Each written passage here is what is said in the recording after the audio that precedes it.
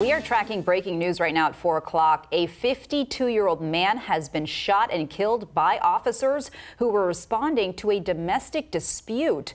It happened in Kent just before 2 o'clock this afternoon, and Sky King is live over the area right now where you can see plenty of police there are responding. Kent police say when officers arrived at the house, the man grabbed a chainsaw and then moments later, officers shot him. The officer who fired will be placed on administrative leave, which is standard protocol. We are working to learn more information and we will keep you updated as we do.